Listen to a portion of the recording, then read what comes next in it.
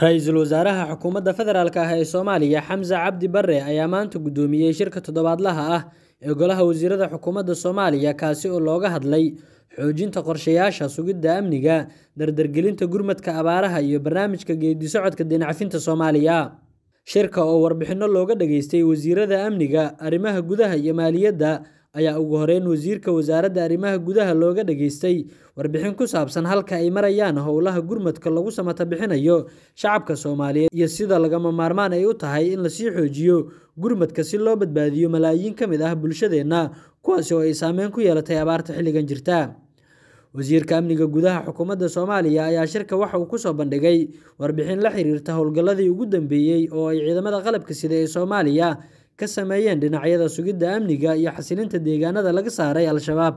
Dhankiisa, Wasiirka Maaliyadda Xukuumadda Soomaaliya ayaa warbixin muhiim ah ka siiyay Golaha halka uu marayo barnaamijka geeddi-socodka deyn-cafinta Soomaaliya iyo tallaabooyinka loo baahan yahay in la qaado si looga miro dhaliyo hadafka weyn oo suurtagelinaya isku filnaansho dhaqaale, sare u qaadista shaqo abuurka, soo jiidashada maalgashiga caalamiga ah iyo dhiirigelinta wax soo saarka dalka iyo horumarka bulshada.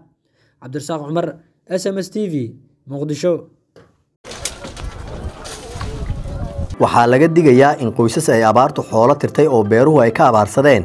In si joogta ay ula kulmaan barakicin qasab ah iyadoo aan loo fiirin. Duruufaha ay ku jiraan. Qoysaska barakaca ah goobaha iyo dhulalka ay degaan. Dadka milkiyadda u leh ama wakiilka ka ah. Waxaa la gudboon in si wanaagsan ay u soo dhoweeyaan qoysaskaas soo barakacay mar allaale ee loo baahdo dhulka ay degan yihiin waxaa habboon in wakhti ku filan la siiyo oo u dhexeeya lixdan ilaa iyo sagaashan cisho si ay u raadsadaan meelo kale oo ay degaan. Milkiile qayb ha ka noqon.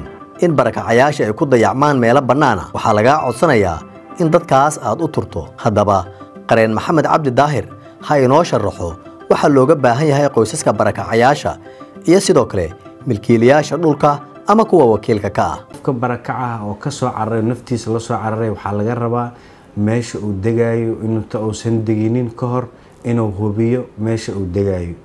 Qofka uu la macaamilayo oo ah qofkii dhulka iska laha inuu yahay iyo qof aan dhulkii iska lahayn inuu yahay.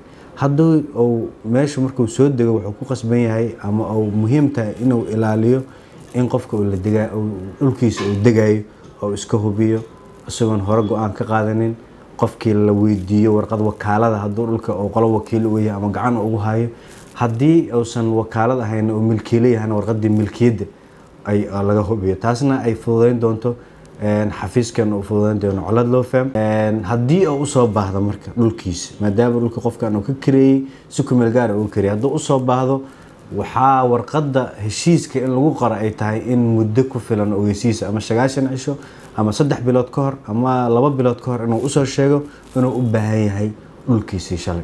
Qofkaanu waa in la siiyaa waqti uu ku guuri karo.